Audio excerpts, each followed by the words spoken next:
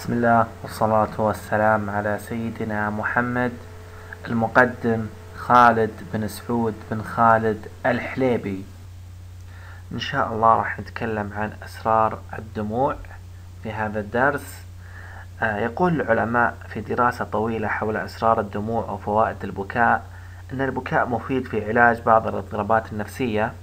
كذلك آه، البكاء ينظف العيون من الغبار والبكتيريا ويساعد على علاج الاكتئاب والبكاء يخفف أعراض الألم وهو ضروري لعلاج الاكتئاب المزمن.